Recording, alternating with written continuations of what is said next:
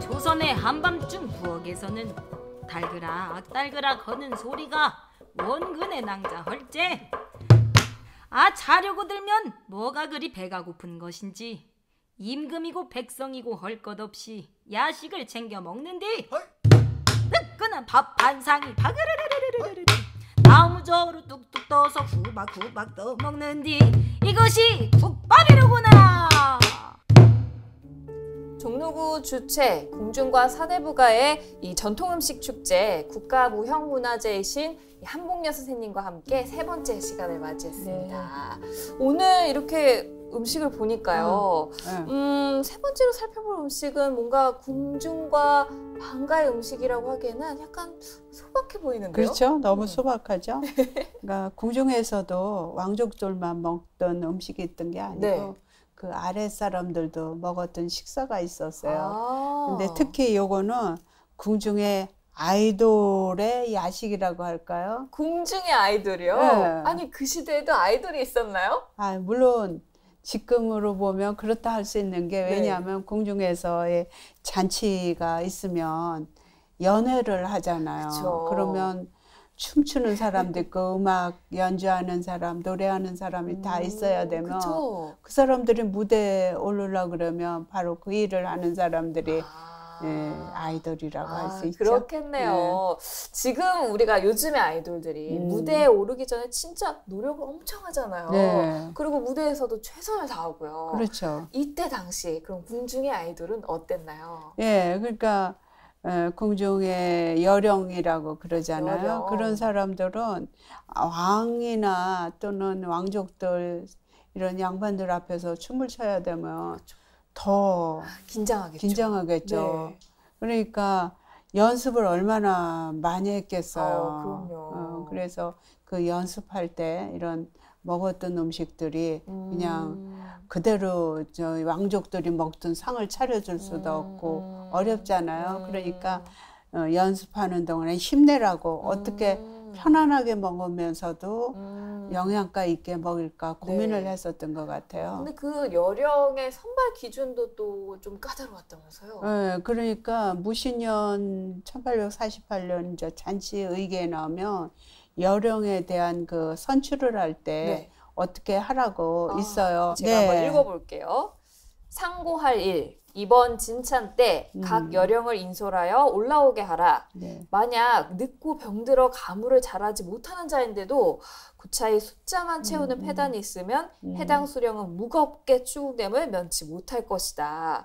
아 이게 공연에 오를 여령들을 뽑기 위해서 한 4개월 전부터 선발 하죠. 기준을 각 도에 공문을 내렸다고 하는데 그러니까 뽑혀 오는 거잖아요. 오, 어, 얼마나- 공중의 무의도 있지만 그쵸.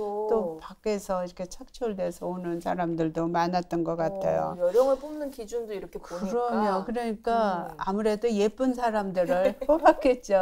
근데 이제 궁중의 잔치라는 거는 그냥 하루 이렇게 하는 게 아니고 네. 삼일 밤 낮을 그러니까 삼일 동안 하는데 아침에 일찍 하고 네. 밤에 하고 밤에 어, 밤에 10시가 지나야 끝난다고 아이고, 그래요. 네. 그러니까 아무래도 장소는 협소하고 많은 사람을 부를 수가 없으니까 음. 이제 매번 부르는 사람이 다르겠죠. 음. 그러니까 그때마다 춤을 춰야 되니까 오. 어, 한 번 했다가 낮 시간에 연습을 하고 음. 밤에 또 하고 이러니까 고된 훈련이었을 것 같아요. 어, 그러네요.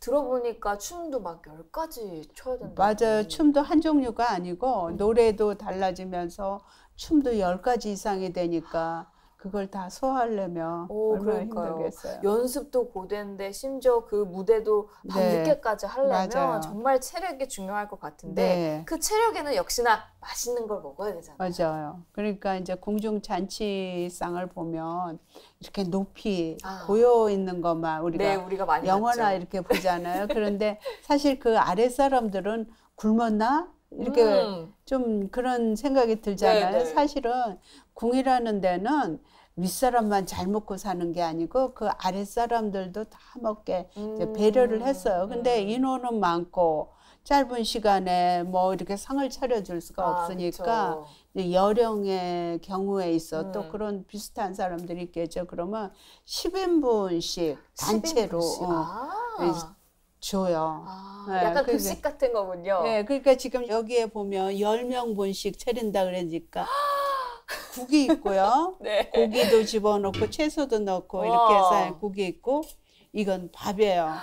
그러면 밥. 국하고 밥이 있고 아. 네, 아주 산더미 같아요. 반찬이 있어야 되잖아요. 네, 반찬도 있어야죠. 반찬은 그래도 적어도 고기 반찬 하나는 줘야 되잖아요. 오, 고기 그러니까 반찬. 고기를 산적으로 끓인 거 하고 또 뭐가 빠졌어요? 꼭 있어야 되는 거. 김치. 이 김치가 있어야 넘어가잖아요. 그쵸, 그쵸. 그러니까 이렇게 해서 난 드리면 주면은 이거를 이제 네. 밥을 떠가지고 국을 말아서 아. 고기 한 꼬치하고 뭐 이렇게 김치 넣어가지고 먹는 일종의 한 그릇 음식이죠. 아, 지금으로 얘기하면 국밥이네요. 국밥이죠. 그러니까 음. 장터에 가서 우리가 쉽게 에, 그 해장국도 그쵸. 먹고 그러잖아요. 네. 아니면 우리가 집에서도 국말이 밥이 제일 쉬워요. 그죠? 맞아요. 김치만 있으면 얹어서 맞아요. 이렇게 먹으니까 음. 그 여령들한테도 이제 줘야 되니까 음. 그냥 뭐 어떻게 굶기고 할 수는 없으니까 그쵸. 그래도 든든하게 이거를 먹게 하려 그러면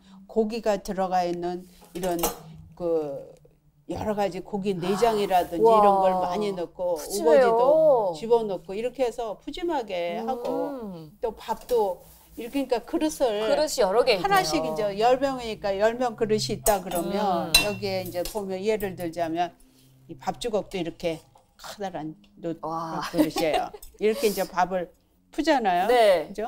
그러면은 이렇게 푸고 그 다음에는 밥을. 국을 갖다가 네, 여기다. 듬뿍 이제 떠준단 말이에요. 그죠? 이렇게 이제 와. 자기네들이 나눠서 먹는 거죠. 누구나 똑같이 좋아할 해야죠. 네, 네, 그래서 이렇게 국밥이네요. 국밥이잖아요. 이렇게 네. 떠서 주면 뜨끈뜨끈하게 아이고. 그 밤에 자 이렇게 해서 하면 그 다음에 어떻게 하겠어요? 아, 그죠? 이제 여기다가.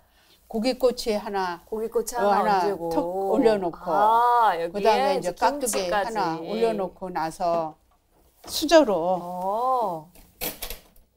자기 수저 찾아가지고 그죠? 와. 이렇게 해가지고 아, 이렇게 먹는 거군요. 먹는 거죠. 이렇게 젓가락도 필요 음. 없어요. 숟가락만 그러네요. 있으면 숟가락 하나면은 네, 이 네. 음식을 다 이렇게 먹을 수가 있는 어, 거예요. 이렇게 해서 막 먹으면 오, 맞아요. 든든할 거 아니에요. 속이. 와, 안에 고기도 어. 종류가 굉장히 다양하게 들어가는 왜냐하면. 이 궁중 잔치 같은 경우에는 고기를 많이 쓰고 음. 이 지쓰레기 같은 게 많이 남잖아요 부속품들이 그럼 그거를 국을 끓이는데 아무래도 간기도 있어야지 그 이렇게 되려면 된장을 약간 풀었을 것 같아요 아, 약간 그렇겠네요. 된장 맛이 네, 나죠 네, 네. 예, 그렇게 해서 이제 국밥을 만들어 먹는 거죠 음, 그런 분들한테 고된 일과 연습에 치였을 때이 네. 어떤 국밥 한 그릇이 정말 큰 그렇죠 이제. 임금님께서 야괴반이라고 밤중에 이제 밥상을 이제 내려준다 이런 뜻이 음. 있어서 어, 여령들이나 악공들한테 이렇게 내려줬던 거죠. 음, 오늘은 이렇게 조선시대에 네. 우리 아이돌이라고 불리는 여령과 네. 또 악공들의 야식 이야기를 좀 들어봤는데 네. 다음 시간에는 어떤 이야기를 전해주실지 또. 다음에는 이제 궁중 음식이